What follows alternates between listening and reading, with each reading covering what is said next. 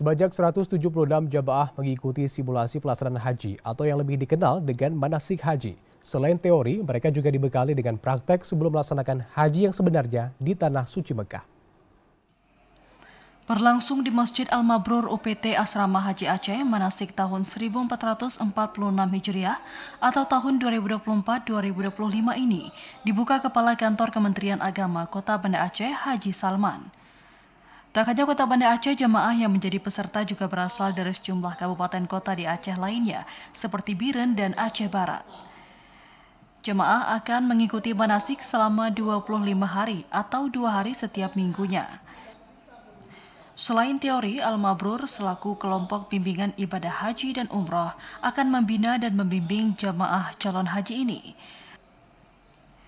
Menurut Ketua Kelompok Bimbingan Ibadah Haji dan Umroh, Al-Mabrur, praktek terkait pelaksanaan ibadah haji merupakan bekal yang paling banyak didapat jemaah selama mengikuti manasik.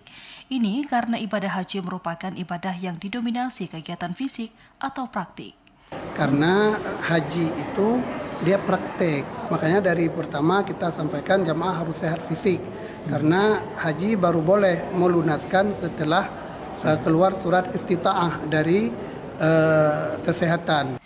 Sementara itu Kasih Haji Kemenak Kota Banda Aceh berharap kelompok bimbingan ibadah haji dan umroh Al-Mabrur dapat memberikan pelayanan yang maksimal kepada peserta manasik.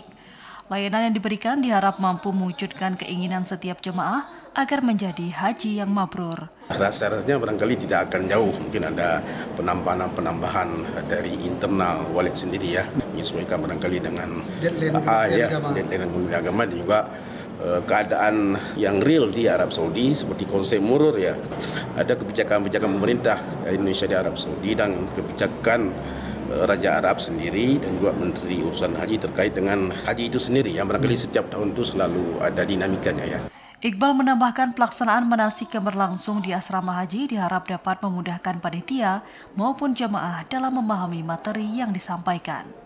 Dari Banda Aceh, Arman Konadi, TVRI melaporkan.